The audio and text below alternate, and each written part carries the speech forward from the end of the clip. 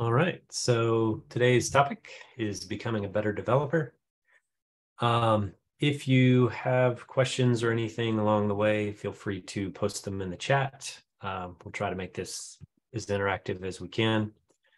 Um, so just to give you a little background on me, uh, I work at Bluehost. I'm a WordPress developer, have been for I guess, what is this? Probably like 15, 16 years now. Um, and you can find me at WP Scholar. If you just Google WP Scholar, you should be able to find me. Um, so if you have follow-up questions that you don't get to ask here, you can always follow up with me on Twitter or wherever you'd like. Um, so let's kind of jump in here. So this is one of my favorite uh, topics, uh, just because as developers, we have to learn so many things. And so really the the thing I think makes developers good is just their ability to learn. And so this uh, topic is mostly about how to learn things well, but specifically how to learn things well within the WordPress space and kind of what that looks like. Um, we're going to show you a visual roadmap of where you're at in your development journey uh, what you can expect moving forward, and then also give you a way to kind of self evaluate uh, where you're at and what you should probably be focusing on. So, with that um, short intro, uh, we'll jump in. So, this presentation starts with a story um, about two uh, psychologists, Dunning and Kruger. So, some of you may have heard about these two people, but um, the whole thing that started their research uh, was a story about a guy who basically robbed a bank. He went into a bank, uh, he had no mask on, and he holds up the bank, gets money, uh, hops in a truck, uh, drives down the road. Nobody followed him. Um, he apparently lived only a few a few neighborhoods away. Um, and within an hour, the police were showing up at his door they arrest him, they take him to jail, and he's just absolutely dumbfounded as to how the police could have possibly found him. Um, so, come to find out, he had put lemon juice on his face, which obviously, if lemon juice is used to make invisible ink, it would make him invisible as well, right? so therefore, he didn't need a mask, and they shouldn't have been able to find him because they could wouldn't have known who he was. Um, obviously those are ridiculous uh, and there's no way that that would actually work. Um, so dunning and kruger started the study of do smart people know they're smart and do stupid people know they're stupid? Um, and so they they started this study and as a, a result of their study they came away with what is called the dunning-kruger curve. So we'll take a quick look at that. So this is the dunning-kruger curve. So on the left-hand vertical, we have confidence, um, and on the bottom, we have competence. And so you can see there's a huge surge in confidence in the beginning, uh, but as they become more competent, uh, that tapers off and then appropriately rises later as competence comes further along. Um, so with that, uh, there's kind of two concepts, right? So we have uh, something called the illusory superiority. This is where you hit the peak of that curve, and new developers are often more confident in their abilities than they are they should be. Um, and then the thing that we're all more familiar with is imposter syndrome, which is where you have more experienced developers that are often less confident in their abilities that they should be. Um, so, looking at those two things, um, this is where where those land, right? So you have. People that think they know more than they do. And this often comes when they start to learn something new. Uh, and we'll find out why in a minute. And then, of course, imposter syndrome, uh, where where all the confidence comes crashing down. Um, so um, the thing that kind of takeaway here is it takes competence to recognize competence uh, as a person who has uh, interviewed developers, hired developers, um, the thing that I've noticed is that sometimes the people who are more confident in their skills are actually the least experienced people. And the people who downplay their skills are often the more experienced people, um, which is a little counterintuitive. But when you think about it from the Dunning Kruger curve, uh, it makes perfect sense.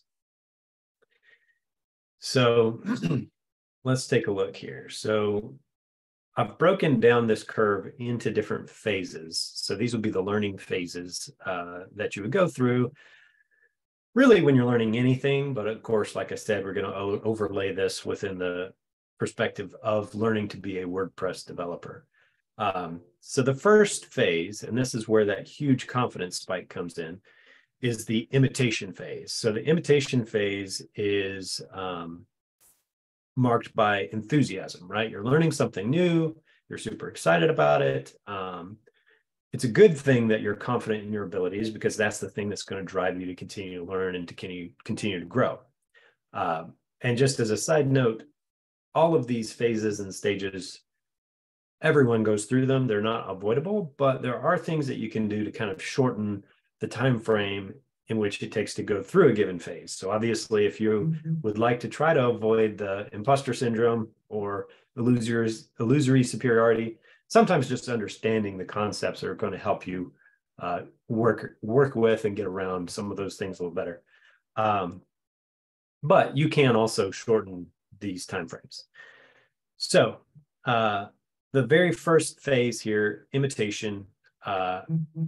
is really marked by uh, you as a new learner following along and imitating somebody who is showing you a concept, right?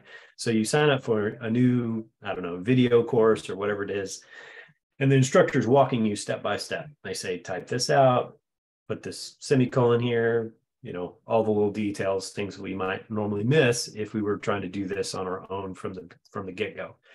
So the fact that you're able to copy what they're do, doing and have some form of success is what contributes to that confidence, right? So you're like, hey, I can actually do this. I'm able to follow along. I can understand what's going on. Um, and so you get that confidence, you're enthusiastic. Uh, but in order to uh, to really make it through this process uh, in a timely fashion, we we want to focus in on what we're doing, right? So the one thing we don't want to do is take course number one, imitate the instructor, take course number two, imitate that instructor, number three, and imitate that instructor. You're going to end up in this phase and you're going to stay there, right? You're not really going to progress. So uh, you've got to have some goals. So first of all you want to make sure that you understand your learning preferences. If you're going about this in the wrong way you're you're learning from a video when you like to read or you're learning by yourself when you do better with other people. Um, you know understanding whether you should be going in person to do a boot camp or you should be doing an online video course or you should you know uh, be following an instructional step-by-step uh, text guide. Um, these are all things that you kind of have to feel out for yourself. And then um, you want to obviously choose a destination. So uh, one of my favorite quotes, if you aim for nothing, you'll hit it every time. Uh, so, uh, so a few things about choosing your destination, right? So you've got to determine what it is you want to do um, and why it is that you want to do it, right? So you say, hey, I want to build websites. Well, why do you want to build a website? Well, I want to build a website because I see all these people trying to sell stuff uh, unsuccessfully. You know, maybe it's during the COVID time, right? And so your your goal was to uh, to help people move from uh, brick and mortar to online. Um, so these could be different goals that you might have. so then you have to ask yourself, who do you know that actually does this? So it's important to actually find those people, have a conversation with those people, and have a, uh, a general idea of uh, a you know what are the resources that I should be learning from? You know where where is it I should be going to learn? But keep in mind your learning uh, preferences right?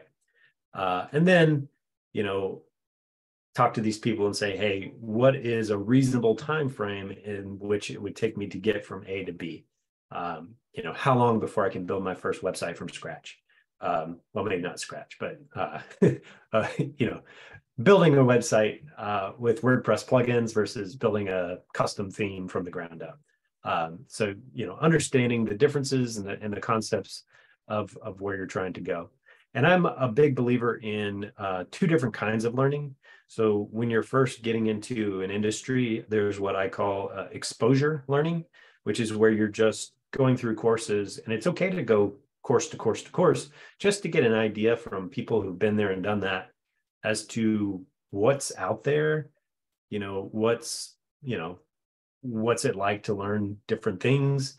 Um, am i going to like one more than the other? And the goal isn't to necessarily like really really learn it. It's just to wrap your head around uh, what's going on. And then there's the learning for the purpose of being able to do the work. And that's where you have to get specific and then of course you also want to ask yourself uh, how much will you be able to learn, right? Do you feel like what you're trying to learn is a bit much? Do you think you need to start with a smaller goal? Um, for a lot of people in the WordPress space, they'll start with uh, a basic website, right? They'll say, okay, I have a, a WordPress instance. I'm going to put a off the shelf theme on. I'm going to put some plugins in, and I'm going to do some configuration. And that may be your starting point for getting into WordPress. I think that's a lot of people's. And then later on, it'll be like, well, it would be really nice if I could tweak the theme, right? So you start getting into doing customizations with CSS and, and different things. And then you kind of work your way backwards, right? Into like, well, how can I write code to make it do this? And you learn to write a little snippet or two. And then eventually you write a whole plugin. So these are kind of the, the ways that you end up uh, or this is how I backed my way into WordPress. Um, and I think a lot of other people do as well. Um, so moving on, focusing on next steps, uh, we want to make a plan beforehand about uh, what we're going to do and how we're going to react in certain situations. Um, and if you've um, uh, followed the Atomic Habits book. Uh, they have something called implementation intentions. Um, and these are just super helpful in helping you get in the habit of continuously focusing on learning. So uh, it's like a statement here says, I will do X at X time in X location. And that might look something like this. I'll complete one lesson from my JavaScript for WordPress course at 4 p.m. every weekday in my office, right? So you're saying I'm going to reserve that last hour of the day I'm going to focus on learning this new thing. Um, and so focus starts with eliminating things and it improves with concentration and compounds with continuation. So this is kind of my, uh, it's all about getting in the habit of, of doing it. Uh, so you're in the habit of doing your learning, right? Uh, you found a resource that works for you uh, and you're able to uh, ideally find somebody who is a good teacher whether they're actually in person or you're doing a video course or whatever it is uh, try to go deep use all their resources and really learn from them if you like them right? Um, so then we're going to move on to our next stage here. So this is what i call the practice stage. Uh, you'll notice that there's a significant dip here in the practice stage in confidence. Um, there's a good reason for that. Uh, it's called confusion. And confusion uh, happens when you basically, um, well, my next slide will explain it pretty well.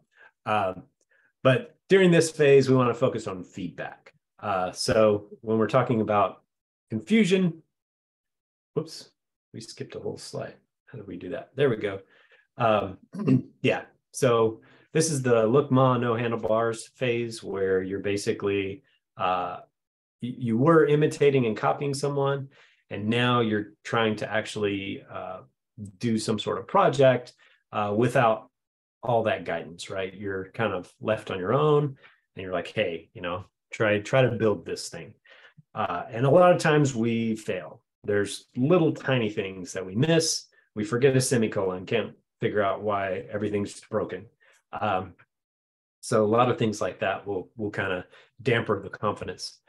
Um, and it can be very confusing because you don't know what you don't know at that point. Uh, so in terms of feedback, you want to make sure you have people looking at your code in some way, shape, or form, ideally. Um, so obviously, if you can find a code mentor, that would be ideal. Uh, there's plenty of people. The WordPress community is a great place to find a code mentor, and so many people are willing and able to give a helping hand in that area. And then, um, you know, you can find a peer, somebody who's learning along with you. Maybe they have a slightly different understanding or just a fresh set of eyes, and they'll be able to point you in the right direction.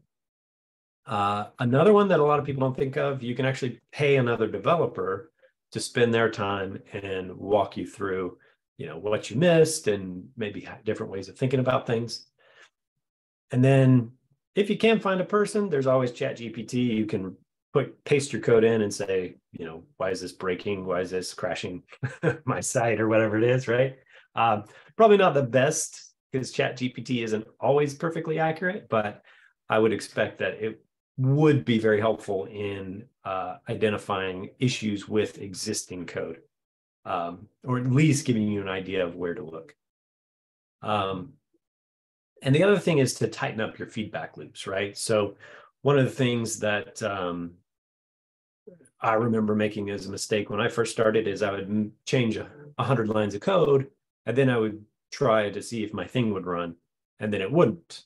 Well, now I have a hundred lines of code I've got to go check and that's not working very well, right? So I learned that I should be changing one line of code, testing, changing one line of code, testing, and uh, and even though it feels like it's going slower, uh, you're actually tightening up that feedback loop and limiting the surface of that feedback loop so that when a problem happens, you instantly know where to go and where to look. Um,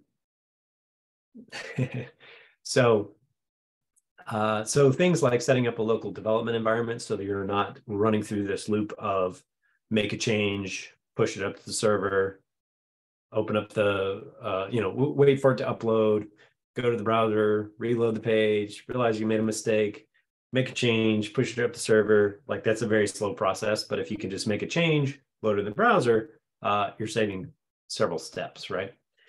Uh, learning how to debug code is a big thing um, because that's going to tighten up that feedback loop. If you are guessing why your code's broken versus knowing why your code's broken, um, that's a very different experience as a person who is learning. Um, my general rule, um, well, typically if I'm working with developers or if I've hired a developer and I'm telling them, you know, if you get stuck, I'm telling them within 30 minutes you should be reaching out if you are if you've made absolutely no progress in 30 minutes as you're learning new stuff that that time may be longer like an hour uh, or or maybe you know it's all at a personal level right maybe it's an hour and a half for you who knows um, just give yourself the time to do the research but know when you're stuck uh, and be sure that you have a way to ask for help at that point um, so that's going to speed up that feedback loop and help you kind of get through that practice phase. Uh, but then the next thing we have is a build phase. And this is actually essentially two phases in one here, uh, but we're going to break it down uh, into two individual build phases. Uh, so this first build phase, again, here is marked with uncertainty. And as you'll note, this is the very bottom of the confidence uh, loop there, or whatever you call it. Um, and so that's where your um, imposter syndrome typically will kick in. Uh, and the reason why is because, you know, where you were doing practice projects before, now you're trying to build real things. And they typically don't go the way that you want, right? So it's always uh, a little longer and a, a, you know, there's always these little screwballs that get thrown at you. And so you've got to figure it out. Uh, so there's a lot of uncertainty with that. And um, so this is where you want to start to collaborate with other people uh, in order to kind of break through that. So uh, the interesting thing I would like to highlight is that when you hit that imposter syndrome stage, typically that is the point at which you are the first moment at which you are hireable. Um, so for those who are out there trying to learn and find a job, um, you're you're not going to feel like you can go get a job at the point that you can actually do that. Uh, but that's that's the point at which you really should go get a job to be working with a team of people, and so that you have multiple code mentors that you can turn to at any given time, and they can they can help you. Um, so, you know, find a find an entry level position, get involved, work with the team. That's the ideal scenario right there. Um, I like Henry Ford's quote whether you think you can or you think you can't, you're right. It always boils down to your mental uh, perspective. Uh, so if you don't think you can, maybe you should give up. Uh, but if you think you can, I'm sure you can, right? Like you'll be able to do it. Uh, so as long as you are persistent and apply yourself to it, um, you'll be able to do it. So again, finding a code mentor, imposter syndrome is real, and finding a good code mentor will help counteract that. And like I said, if you can get a job and find a team of people to work with, even if it's just like an entry level contract position, like, hey, I would like to work with this uh, agency as a contractor and just do XYZ. Like, I know XYZ, but I would also like to learn A, right? You throw in one extra thing. So you're doing work that you know is, uh, you know, 90% of it, but you're reserving 10% and saying, hey, I'm going to need help with this. And that's how you can kind of grow incrementally by working with other people. Um, so, and, and, and that's, you know, if you, you don't have to get a official job, you can grow into a contract uh, type work, freelance work. Um, and my just general recommendation there is if you can find three agencies that specialize in what you're wanting to do, WordPress, I would assume, um, and you could just take on some small projects. And then um, typically they do have teams of people and they they will, you know, I've worked with people in the past and they've made other people available, said, hey, if you get stuck on this, you can reach out. Uh, so you still kind of get that team, but you can also mm-hmm. focus on the things you're good at and then continue to just incrementally learn some things. So, um, and yeah, so mm-hmm. uh, hackathons are also a great way, as mentioned here in the comments. Um, and pair programming. This is something that a lot of times people are afraid of. Uh, but even if you're doing it with a friend who's trying to learn the same things, uh, everyone's going to have a different perspective and being able to bring those uh, perspectives together and to think through uh, how to code something out uh, is very, very beneficial. Uh, so collaboration is one of those things where everyone brings their perspective. And so this image here, some people are going to see an old lady and some people are going to see a young lady. Um, and once you see one, uh, usually that's what you see and you don't see the other um, until somebody points out somebody else points it out right they say hey you know this is uh, this is where the chin is and so on and so forth and then usually you can see it so it's kind of the same way it is with with code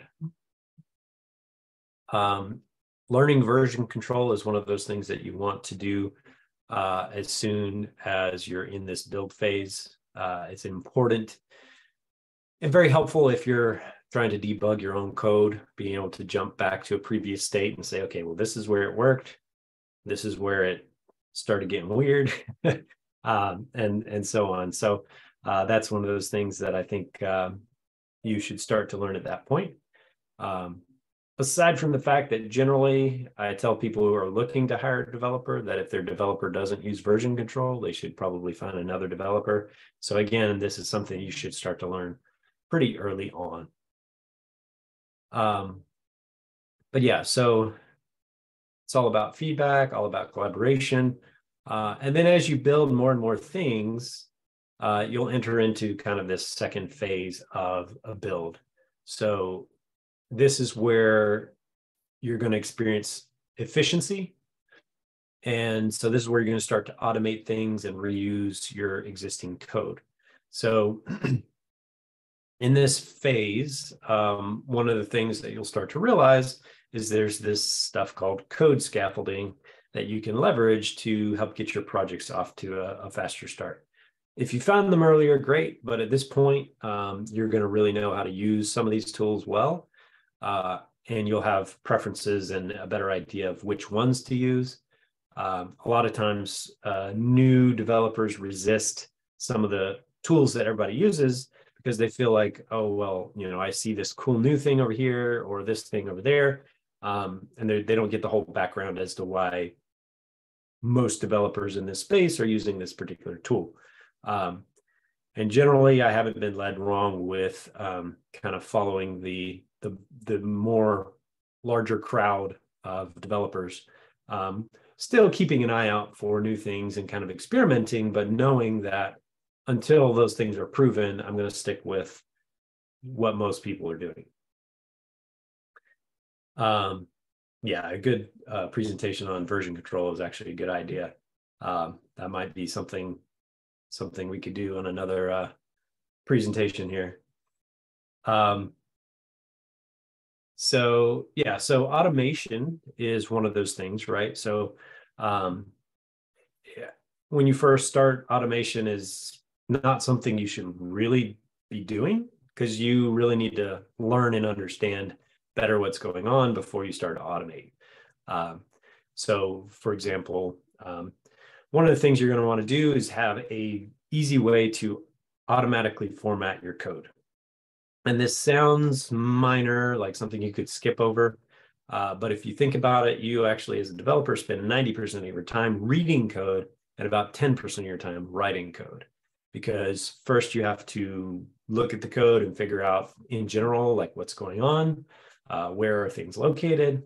Uh, you're going to have to read the code again uh, to figure out, uh, you know, what uh, where would my bug fix or where is my bug happening? And you'll have to read it again to figure out how to add your bug fix into it. And then you'll have to read it again to make sure your bug fix makes sense. And then when your bug fix doesn't work you're going to have to read it again to try to figure out um, so you get the point. Like you're going to be reading code a lot. So if if you don't have a consistent format to it it's going to be harder for your brain to process and it's going to eat up a lot of that 90% of your time uh, trying to read it. So code formatting is one of those secrets that if I could tell you just have a tool to do that, great. Um, I use a, a, editor called PHP Storm and I have a shortcut and it will format an entire file or an entire project. Uh, so usually if I inherit a project, the very first thing I do is just format all the code in the entire project. Um, at least all the custom code that I have to change. Uh, so then we have linting tools. Linting tools are tools that allow you to essentially they read your code and tell you if there's errors or likely errors, things like that. Uh, and so these are these are some things that you'll definitely want to get familiar with because linting tools are essentially like having a code mentor look over your shoulder and tell you, hey, you're not escaping this code, it's not secure, or hey, you shouldn't use that function, it doesn't use caching, or hey, you did some weird formatting over here, you should probably be consistent with it. Um, that's more important when you're working with teams of people because you want your code to be consistent and look like one person wrote it instead of 10 or however many people it was.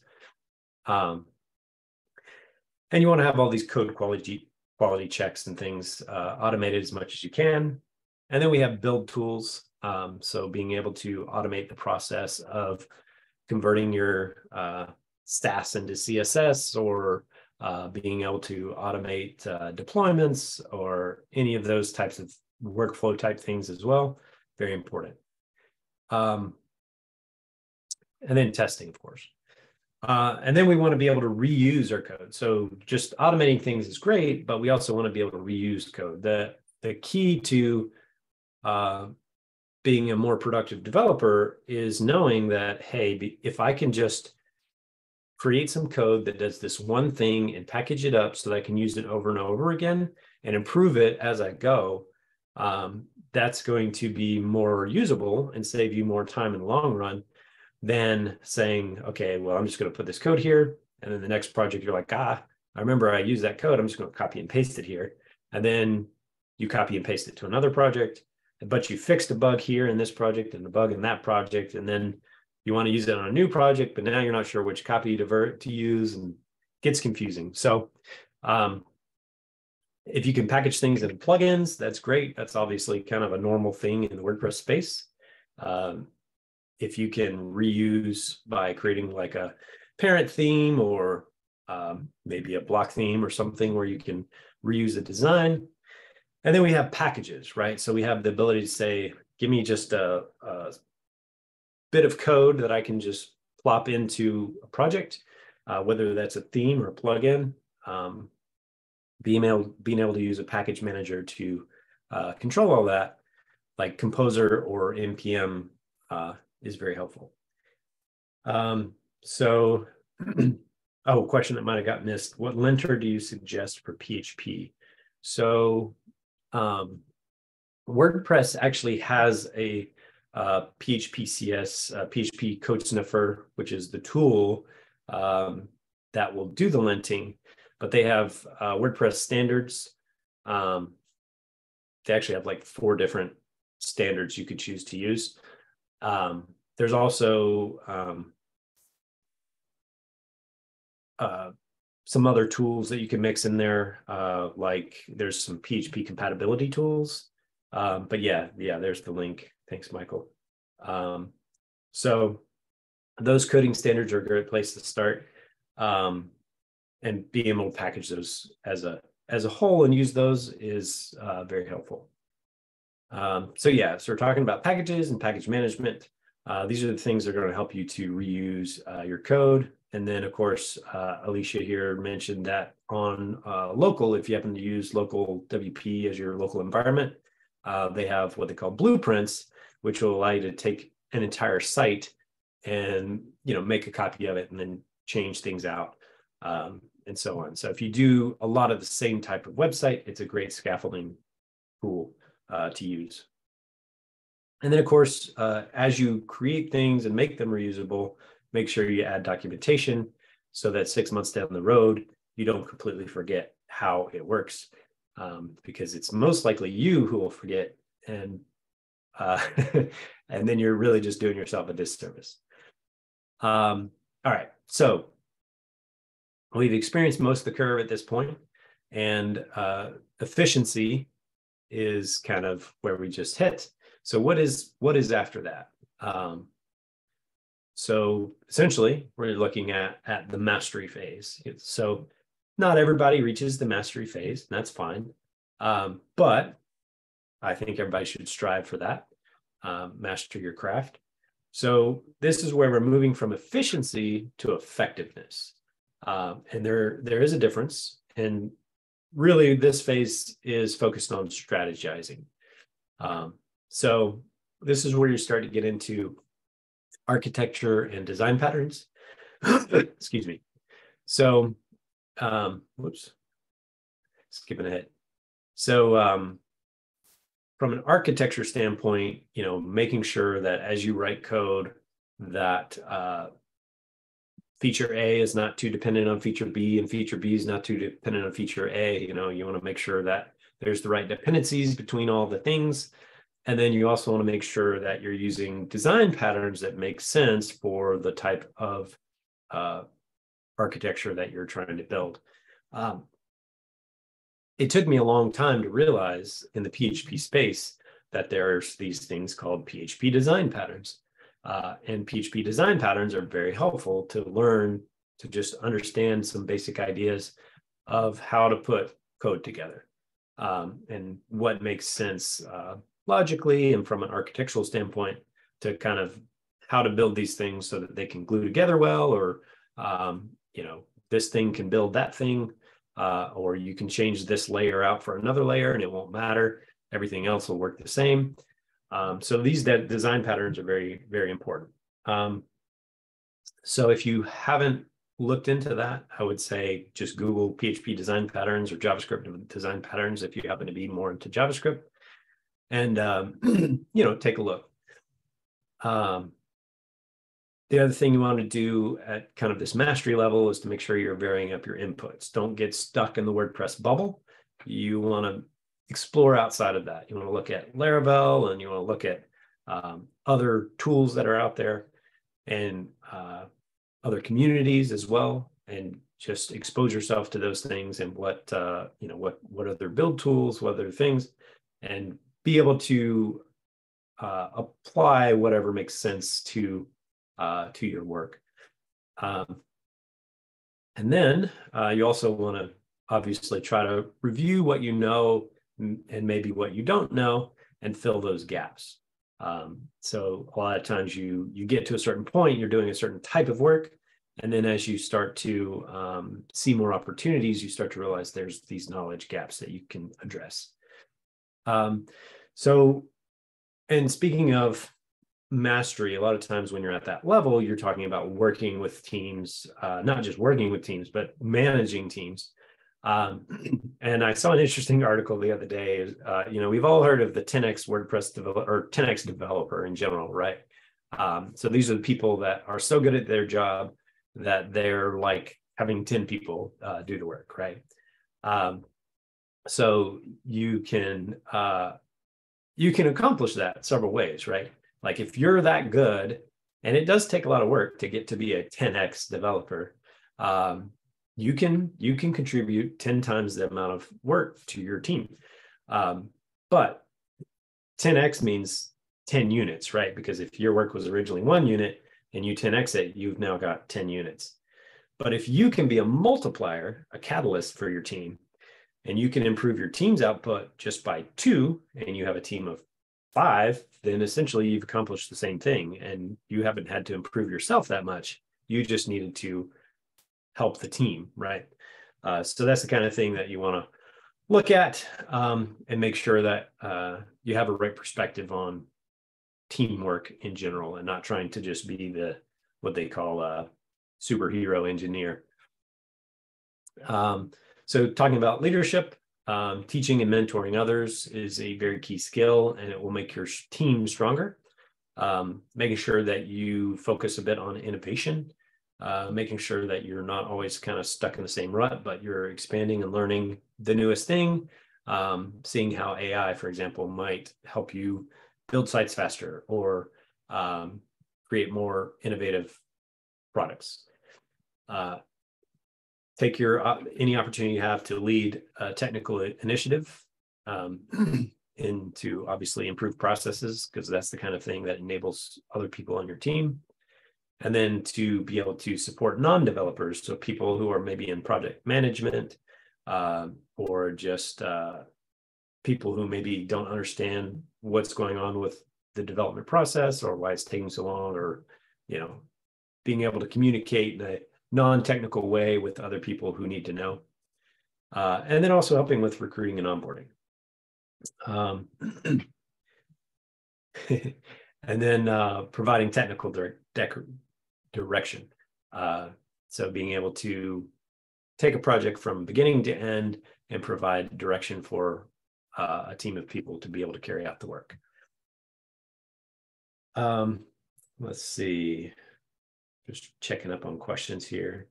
Uh, how important is it to have a course completion certificate to show an employer your skills? Mm-hmm. Um, to be honest, I never had one. I didn't go to school for computer science. I basically learned WordPress from the ground up on my own.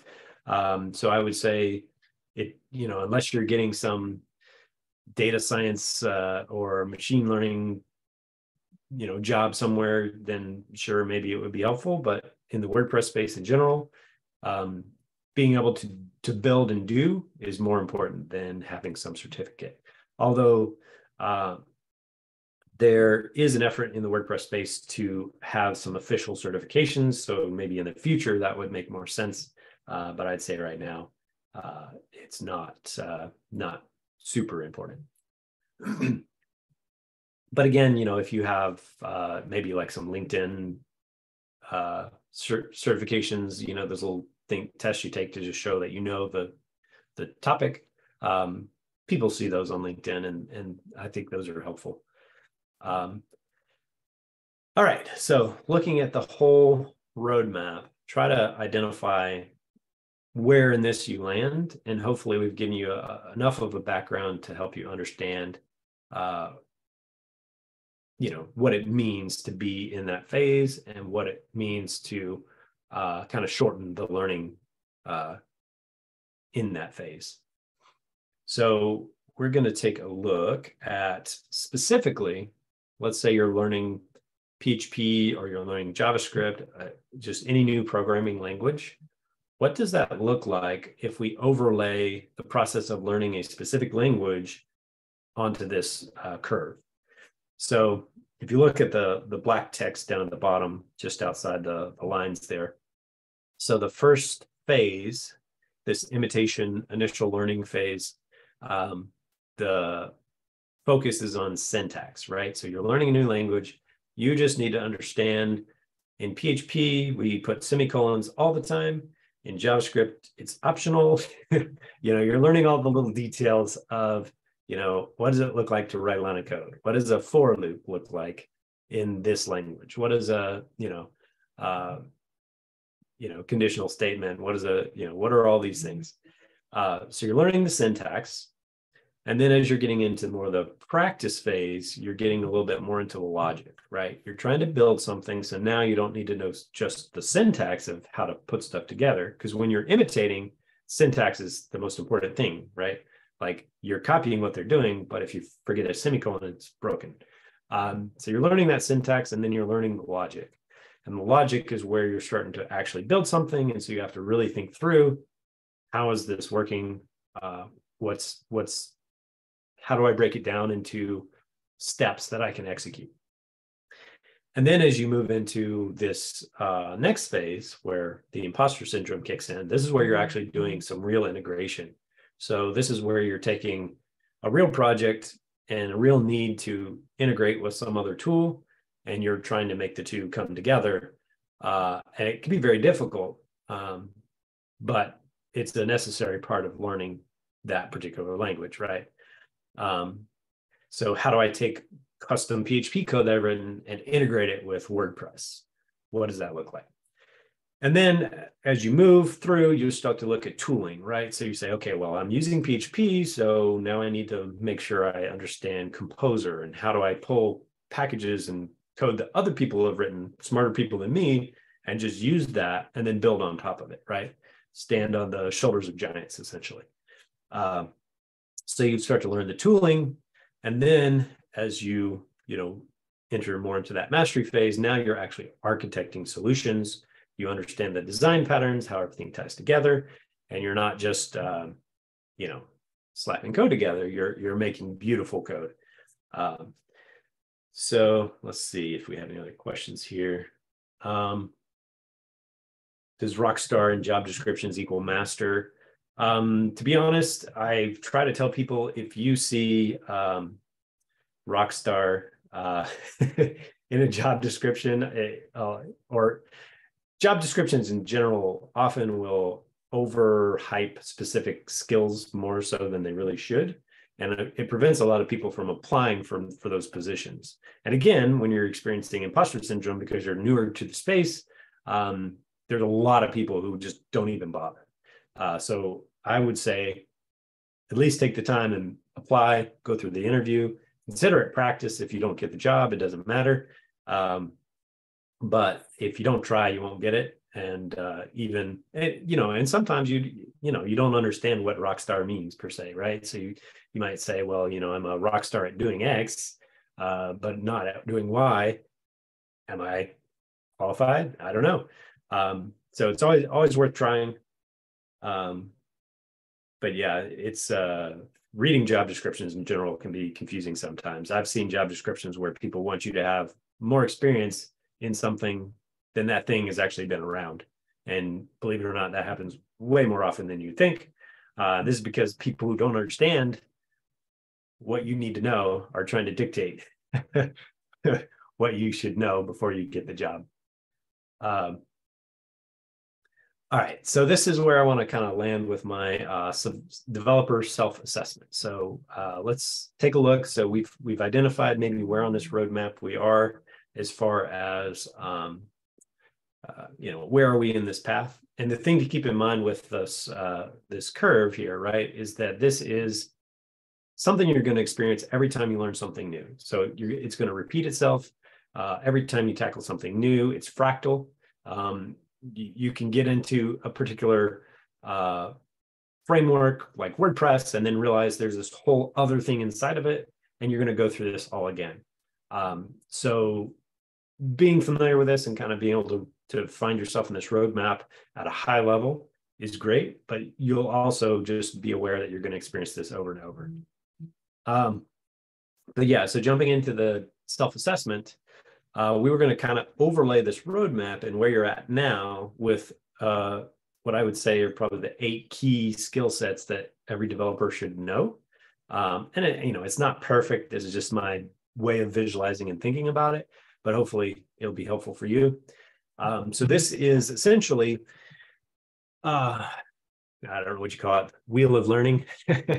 um, so each line here represents uh, an increment in skill level. So if you're closer to the center, uh, you know less. If you're closer to the outside edges, you know more, right? And so reading comprehension, just being able to read and understand code is one of the most important, most, excuse me, most important skills that you can have. Um, and then there's other other things, and they're not necessarily in order, but they kind of are. Um, I mean, obviously, at some point, you're going to have to learn to write custom code. Uh, but the scaffolding tools and the code generation tools, some of those things can be very helpful in the beginning as you're starting to learn because you have the ability not to uh, to just borrow and and and use uh, other people's code that might be better architected or use better design patterns than you might have come up with on your own.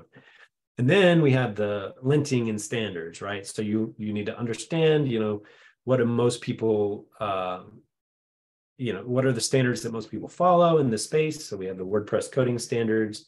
Um, you know, what are the the types of things that uh, I should be doing to kind of make my code um, fit and, and make sense uh, with what we're doing. And then we have the version control. Uh, again, just being able to track all the changes that we make, uh, if even if it's just you, version control is very important. Uh, obviously, if you're working with a team, you want to make sure that each person's uh, code is preserved and can be kind of merged together. Um, and then uh, at some point, debugging. And I again say that you should really learn that early on. Not that you need to be a master at debugging. I think that's where this wheel comes in, right? So you're going to be able to say, you know, in the beginning, I'm, I'm just going to have a small circle. I'm going to know a little bit about all of these, and I will, maybe it's just initial understanding. And then as you start to expand out a little bit, you'll say, okay, I'm going to start actually do some basic debugging. I'm going to do some basic linting.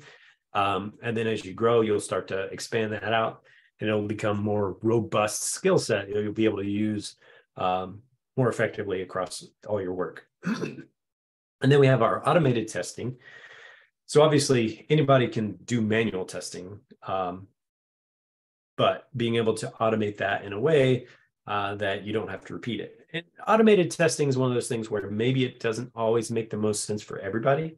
So if you're just building websites, excuse me, with a builder, and you're not really writing custom code, automated testing probably not going to make a whole lot of sense unless um, you know, you know, especially if you're building a one-off site and then you're going and building another one-off site. But if you're, um, you know, if you're if you're working on one site and you're doing this as your job, then you'll want to have automated testing, even potentially with a builder, uh, just to ensure that, you know, did the visuals change when we made a deployment or uh, or made a change in the builder or whatever the case may be. Um, so those things can be tracked and you could be made aware if somebody else changed something. Um, and then we have deployments, right? So we have the ability to say, okay, I've got custom code and I need to push it up to uh, site A, site B. Maybe we need to do some sort of bulk deployment, deploy to a staging site and a live site and a testing site. Um, so uh, being able to have all these skill sets uh, as a whole, I think if you can understand these basic skill sets, you'll be a, a really good developer. Um, yeah, so Playwright is one of those kind of automated testing tools. Another great one is Cypress. Um, And then, uh, yeah, developer compass. I like that. Uh, calling this the developer compass. So, uh, so the idea here, just uh, another quick helpful hint. Wherever you find yourself in, in any one of these areas for a given uh, skill set, wherever you are on that roadmap, you'll be able to map it. Uh, you know, if you're in that beginning imitation phase, you're in one of those first two notches. As you get into the next phase, the next two notches. So um, this will allow you to kind of map that out. And then what you want to do is look at it and say, okay, you're going to make a circle. So you're going to put a dot on each line and then you're going to connect them all in ideally a circle. May not be a circle. You may have a flat tire, right? You may have an area where you just don't know anything and you know a decent amount about everything else. Um, that's when when you when you have a particular area that is significantly lower than all the others, that's when you need to go back and say, hey, I'm going to spend some time and learn this a little better. Um, so that's the that's the idea here. Uh, becoming a better developer is about a understanding how to learn where you're at in the process, process and then making sure that if you were to look at some of these basic skills, um, how easily can you identify the ones that you're lacking in so that you can do put a little time and effort into it. Um, if anybody has any follow-up questions, I think we've got about seven minutes before we're officially at time. Uh, so I'll keep an eye out here, but that's basically um, what I have. So, uh, so let's see what we have here. With Gutenberg now in WordPress core, the possibilities increased infinitely. What should be the ideal roadmap for a developer? Well, to be honest, right now, there's a lot of people who are trying to uh, hire WordPress developers to they want they want to find agencies and people who understand and can use uh, the site editor, uh, full site editing, all of those things. But it's actually difficult. Um, there's very few people who know it well enough to, you know, to really do like enterprise level work or things like that. So I think if you can if you can and i don't think it's complicated right i think it actually is easier now to learn some of these basic things than it would it would be to create a classic wordpress theme from scratch um, so way less work uh, but if you can really nail that down and and get that skill in i think you would do very very well um, so the other question here please suggest some useful assignment to learn from in the wordpress space um, that's probably a little open ended, but um, as far as um, it, it really depends again on your goals, right? So you may have a heart for nonprofits and want to build uh, sites for nonprofits, and uh, so I think that's where you would, uh, you know, find other people that are building nonprofit sites, ask them about the specifics of of that, um, how can I get into that space? What are the things I need to know? What are the plugins? What are the you know feature sets that those types of sites have?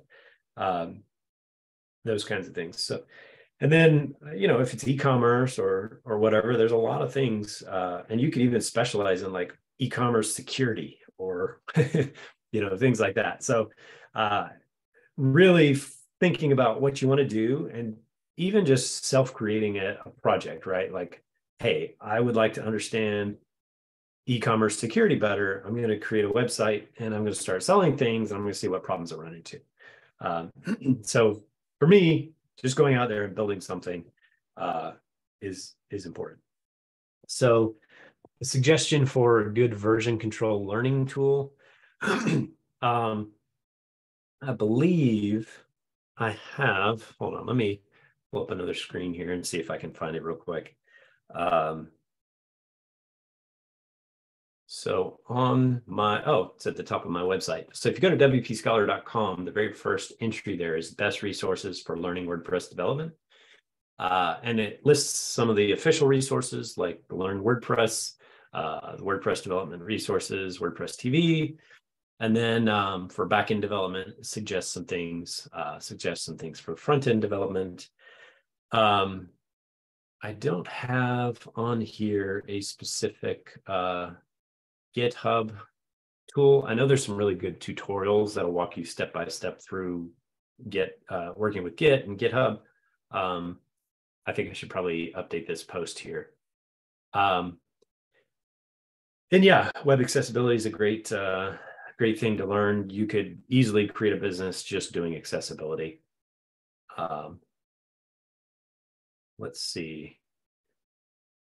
All right. Um, oh yeah, here we go. We got a, a GitHub tutorial there. Um, yeah, there's a link to my post. Um, yeah, version control, it doesn't change a whole lot. So if even if you're finding older tutorials and things, it's probably very much the same. Uh, there's two paths you can take when learning version control. Number one, you can learn all of the like commands that you would type. Uh, or you can go kind of the visual route and download a tool like SourceTree, which is free. And um, and then it gives you visuals of like well here's this branch of code and here's where you split off and did this and here's this change and that change and um, so it's really about understanding one the concepts and then probably starting with a, a graphical interface that you can visualize those things and then you can kind of start to to work with the commands if you'd like the commands give you a lot more control and if you love command line stuff then maybe you can jump straight into that um, but I think a lot of people, again, it's easier to back into than to jump into. Uh, all right. Well, I guess if there's no other questions, we'll probably stop the video and call it.